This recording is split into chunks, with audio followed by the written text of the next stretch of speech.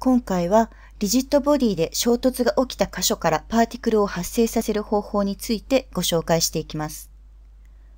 この表現が可能になると、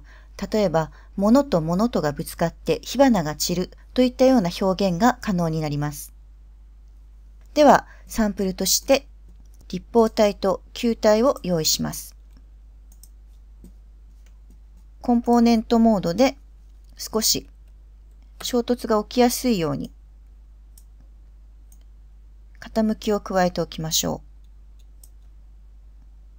では次に、えー、この球体、こちらの方が上から落ちてきて、えー、この立方体にぶつかるといったような風にしたいので、アイテムモードに切り替え、移動ツールで上の方へ配置します。えー、ここまで大体の配置ができたら、えダイナミクスのタブでこの球体の方をアクティブリジットボディに、また、この立方体の方、こちらをパッシブリジットボディに設定します。ダイナミクスのタブで、この立方体の方もメッシュ、球体の方もメッシュ、こちらに指定して、実際にシミュレーションを行ってみましょう。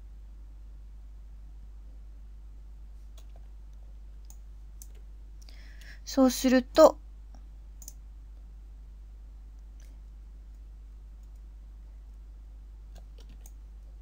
今球体がぶつかって、下に、えー、落ちていくシミュレーションが確認できます。では次に、パーティクルを発生するために、えー、ソースエミッター、こちらのソースエミッターを追加します。ソースエミッターのソースには、えー、先ほどリジットボディのダイナミクス計算を、えー、適用したときに作成されているこのソルバーアイテム、こちらを選択します。また、えー、パーティクルシミュレーション、パーティクルをコントロールするアイテムである、このパーティクルシミュレーションを選択し、このアイテムに対しては、ダイナミクスコライダーを適用します。では、これでシーンのシミュレーションを再生してみましょう。わかりやすいように、えー、ちょっと色を変えておきます。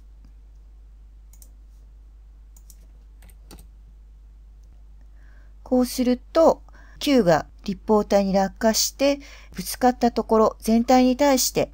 発生しているのがわかります。重力使用をオンにしておきましょう。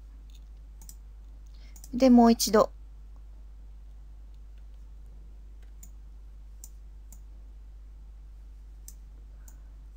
シミュレーションを再生してみると、